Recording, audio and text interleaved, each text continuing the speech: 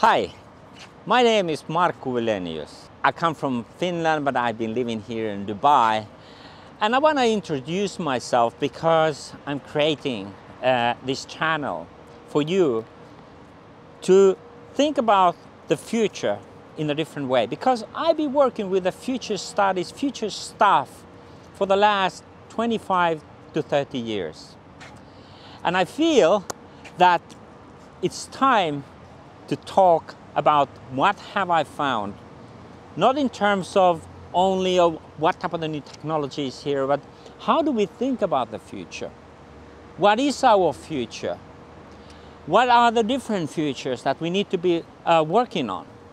So I'm going to try to reach you out through different channels to make future interesting and relevant to you because I don't want just you to listen to me. I really want you to uh, learn from my learning and then give that learning back to me because I'm also very interested to have an interaction with you. Future is of course a fascinating stuff, but future happens in a very different way in different parts of the world. So here in Dubai, we have a very different future to when I look at the Finland, when I look at the, let's say, Florida, I look at the Italy, I look at the South Africa. So, so we have a very different type of the futures coming up. And I'm gonna be tracking what type of the futures I'm gonna see uh, and deliver those type of the futures into you to make you to realize what type of the future options, what type of the challenges, what type of the implications and learnings we have about the future.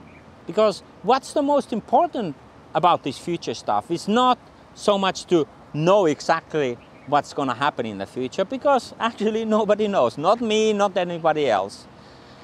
But to be inspired by that and to understand that future is about possibilities much more than the constraints. And the way how we can get better connected to future is to be more at ease with that.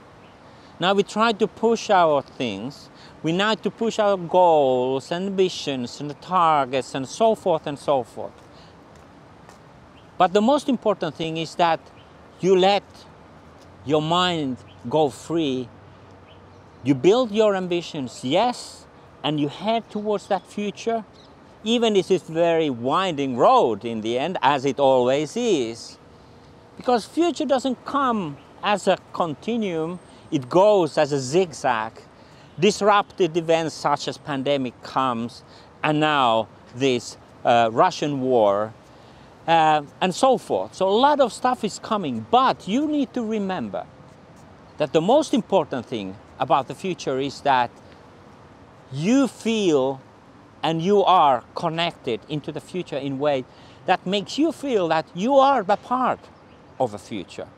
Because if you get hopeless or depressive about the future, that's only because you don't see yourself to be a part of that type of the future which is good for you. And that happens to us for many, you know, for many reasons.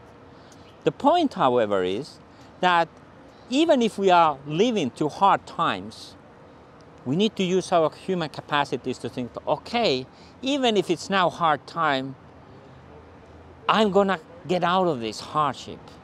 I'm gonna overcome it. Something better is gonna come my way. And because we're living in a quantum reality, everything that we think, all our ideas, changes the reality. Because in reality, there is not only a matter, there is not only energy, but there is this quantum reality which is formulating and reformulating and reorganizing itself in a countless ways. That is something that we need to be thinking of.